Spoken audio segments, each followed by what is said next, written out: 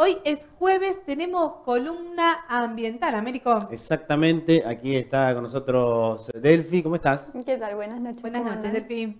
Bueno, Muy bien. Eh, hoy traigo un tema mm, eh, bastante interesante, bastante polémico. Polémico Vamos también. a decirlo, porque lo estuvimos conversando recién. Exactamente. Bueno, en realidad lo de lo que quería hablar hoy en la columna ambiental es un poco del rol que tienen distintas instituciones del Estado en el cuidado del ambiente. Entonces, bueno, cuando planteamos este tema surgen algunas preguntas. Eh, una es por qué es importante que existan instituciones financiadas por el Estado eh, que se involucren en la investigación y en la, extensión de temas agropecuarios y también cómo se vinculan con el cuidado del ambiente. Bueno, para esto estuve conversando con eh, Germán Cariac, que es director de la chacra, es director de mm, la estación experimental de, del INTA, del Valle Inferior, y también con Juan Manuel Severio, que es director de la chacra experimental de Patagones, ¿sí? Em, y estuve hablando un poco bueno, sobre eh, cómo se vinculan estas instituciones con el cuidado del ambiente y también cuáles son los, proyectos que están llevando a cabo actualmente sobre eh, temas ambientales. Así que em, si podemos ir con el audio de eh, Germán. Vamos a escucharlo. Bueno, nosotros como institución tenemos, este, es parte de nuestro mandato trabajar en forma sustentable, desde, todos los puntos de vista, del punto de vista tanto económico como social y como ambiental. Entonces nosotros en todas las, este, en todas las acciones que, tomamos parte tenemos eso como premisa y es un, este, es un valor fundamental para, nuestra institución. Más enfocadas en, en, la cuestión ambiental podría mencionar tres actividades. Hay una que llevamos hace tiempo con que, viene trabajando Brunilda Sidotti en el, en el módulo agroecológico, que fue una política de largo plazo, que en las cuestiones ambientales siempre el largo plazo es importante porque muchas de las cuestiones que se quieren instalar o los monitoreos que se hacen se, eh, necesitan tiempo para, para evaluar cambios. Entonces, en la cuestión agroecológica para nosotros es importante y, este, y cómo producir, produciendo el menor disturbio posible en el ambiente, siempre es un, es un interés para, para nuestra institución. Después tenemos otra, otra acción referida al, al, uso de las aguas tratadas. Se está trabajando en eso en, en, distintas localidades, junto al DPA. Y después otra cuestión que en la que venimos trabajando hace unos años es el monitoreo ambiental de regiones áridas y semiáridas. Sistema que se, se está trabajando en toda la Patagonia, incluso es un monitoreo a largo plazo con monitores instalados en campos de productores que se revisan cada cinco años, donde se toman distintos índices referidos a la vegetación y al suelo. Ese monitoreo es importante porque da datos ciertos sobre qué está pasando con la vegetación y el suelo en zonas áridas y cómo eso tiene, tiene, eso tiene distintas implicaciones tanto en el, en el carbono que hay en el suelo, en la cuestión, todas las cuestiones referidas al cambio climático y bueno, la que nos cuesta por ahí un poco financiar porque eh, últimamente se están financiando siempre desde INTA y a veces el financiamiento para este tipo de cosas no, está asegurado. Es algo que siempre tenemos en mente, lo mantenemos, lo seguimos haciendo porque nos parece que la cuestión ambiental como una parte de la sustentabilidad siempre tiene que estar.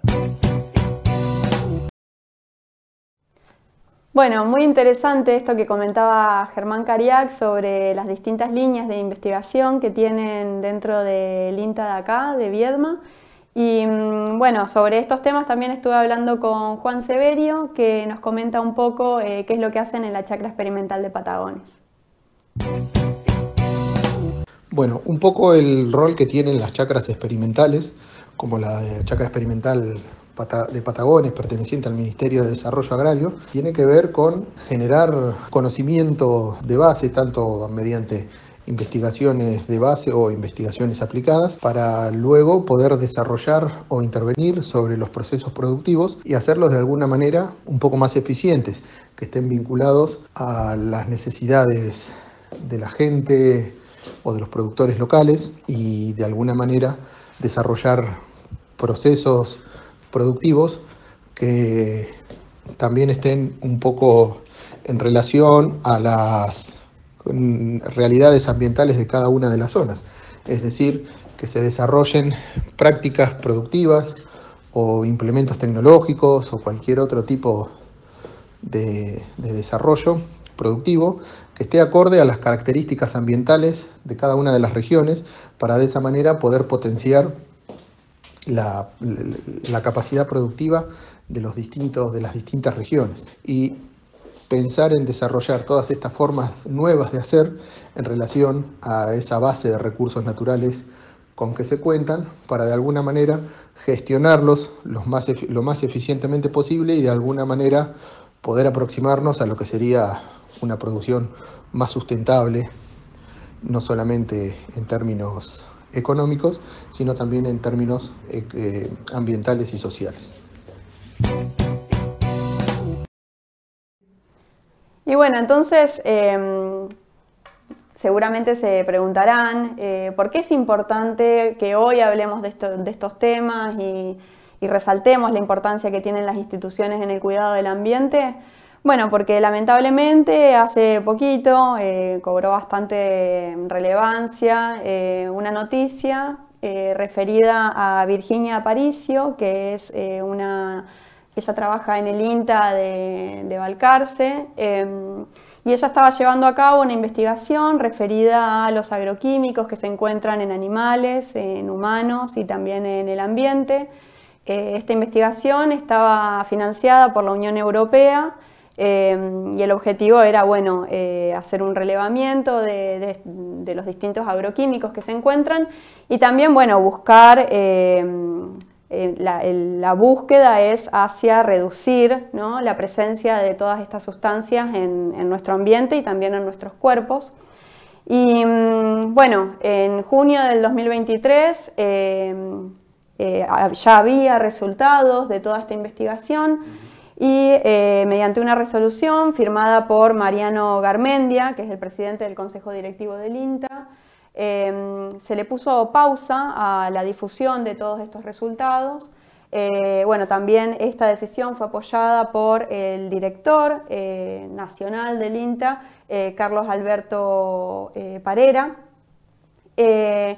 Y em, lo que dicen para justificar eh, esta pausa que ponen a esta investigación es que algunos procedimientos respecto a los estudios que involucran a personas han excedido la incumbencia institucional.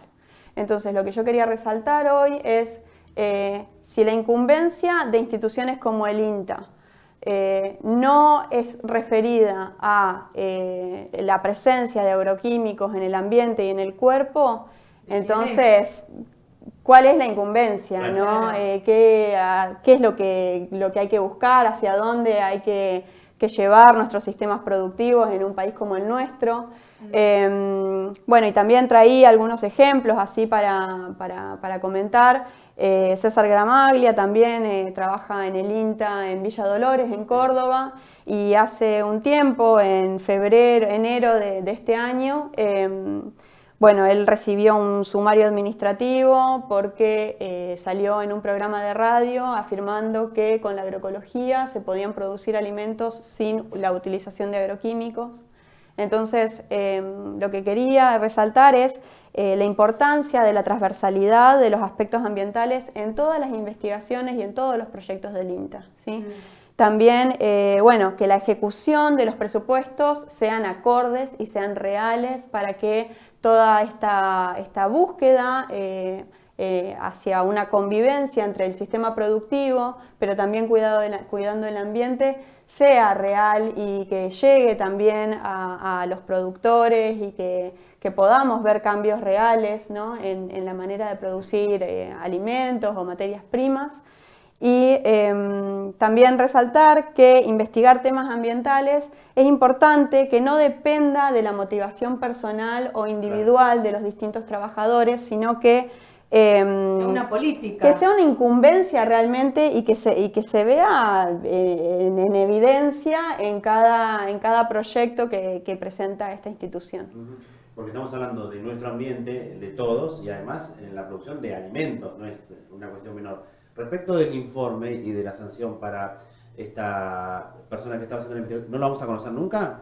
Eh, bueno, la verdad es que al tratarse de una investigación interna, eh, con financiamiento internacional, Quizás se publicará en otro país. Se, se van, se- ella tiene que justificar de alguna manera qué es lo que estuvo haciendo con estos presupuestos, así que bueno, creo que es cuestión de tiempo, nomás que salgan a la luz los resultados de todos estos estudios que estuvieron haciendo.